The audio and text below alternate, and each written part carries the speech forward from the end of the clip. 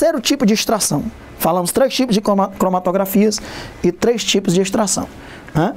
Extração por arraste de vapor agora vai ser o terceiro. Falamos de extração com solvente, extração líquido-líquido e agora extração por arraste de vapor. Pessoal, nessa extração por arraste de vapor, eu vou já lhe mostrar a questão Enem que cobrou isso e como isso é muito comum no cotidiano. Né? Então, eu estou colocando exemplos de laboratório e mostrando que isso acontece no cotidiano. Então, tem muitos, inclusive o próprio marmeleiro preto. Isso aqui também é foto do meu doutorado. Né? O marmeleiro preto, as folhas dele, você tritura aqui na mão e sente um, um odor maravilhoso. A gente chama isso de óleos essenciais. São componentes voláteis. São componentes que têm um ponto de ebulição baixo. Né? A planta usa esses óleos essenciais para diversas funções importantes para a vida dela. No caso aqui, eu peguei as folhas do marmeleiro preto, coloquei num balão de 5 litros, coloquei aqui uma manta aquecedora, coloquei água, 2 litros de água, aí conectei esse aparelho aqui, ó, que tem um condensador. E aí o que é que eu faço? Eu aqueço. Depois de mais ou menos uma hora, quando a água estiver fervendo, o vapor de água sobe. Esse vapor de água sobe e arrasta os componentes, os componentes voláteis que estão presentes na folha. Arrasta os componentes voláteis, quando chega lá no condensador, o vapor de água condensa e os componentes voláteis que estavam nas folhas também. Condensa e desce. Quando desce, ele vai ficando acumulado aqui, ó, nesse tubozinho, que daqui a pouco eu vou mostrar mais ampliado. Esse a gente chama de óleos essenciais. Realmente é tipo um óleo. Ele não se mistura com a água. Só que tem um odor maravilhoso. Ele tem, às vezes, dezenas de substâncias misturadas. Que inclusive lá no laboratório tem procedimentos para a gente identificar cada uma dessas substâncias, ok? Então, ó, Aqui já é outro esquema, o condensador está aqui na horizontal, o meu está na, na vertical. Né? Aqui as folhas, ó, depois de umas duas horas fervendo, eu deixo de duas horas a três horas.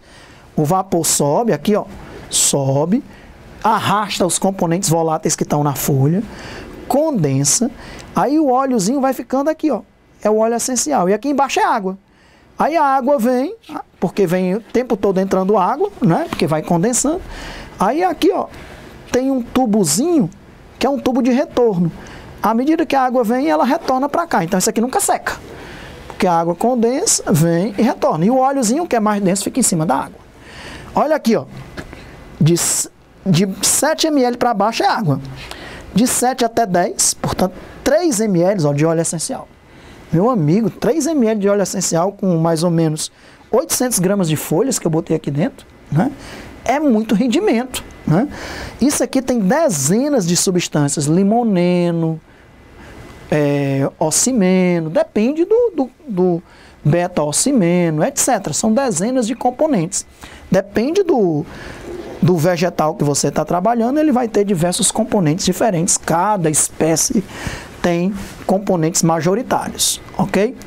Então, Está aqui uma extração por arraste de vapor. O vapor de água arrastou os componentes voláteis que estavam presentes na folha desse marmeleiro preto, que é o Croton blanchetianus. E aí, quando no meu aqui, ó, o vapor sobe, condensa e desce, ó. Quando ele desce, a água retorna por esse tubozinho ó, e vai ficando na parte de cima os componentes voláteis que estavam na folha. Alexandre, você faz isso no laboratório, inclusive no seu doutorado, mas na vida, na minha vida, sem ser no laboratório de química, você já entrou numa sauna?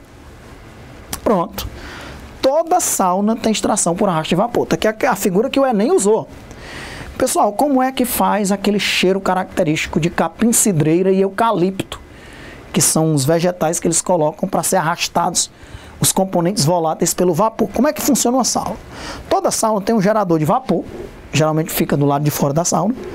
Aí esse gerador de vapor joga o vapor para passar pelas folhas de capim, cidreira, eucalipto e outras coisas mais que coloca, depende da sauna. Esse vapor, ele arrasta extração por arraste de vapor. Já vimos extração por solvente, extração líquido-líquido, extração por arrasto de vapor. Ele arrasta os componentes voláteis que estão na folha do eucalipto e nas folhas do capim cidreira.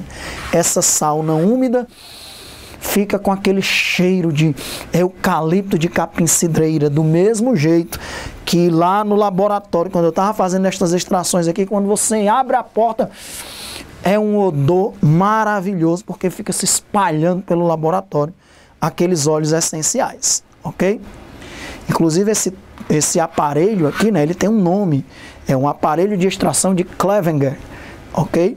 Que é o inventor desse triângulo aqui, né, desse aparelhinho que fica acumulando óleo aqui e a água voltando, porque senão a água ia secar. Né? A água tinha que voltar para cá para não secar e o óleo tinha que ficar separado da água. E realmente o óleo fica aqui e a água fica retornando o tempo todo. Então, um aparelho de extração de óleos essenciais tipo Clevenger, ok? Que é o inventor desse aparelho. Tá bom? E olha aqui a aplicação. Tudo eu dei aplicação, é na gasolina, né? é no chá, é no café e aqui na sauna.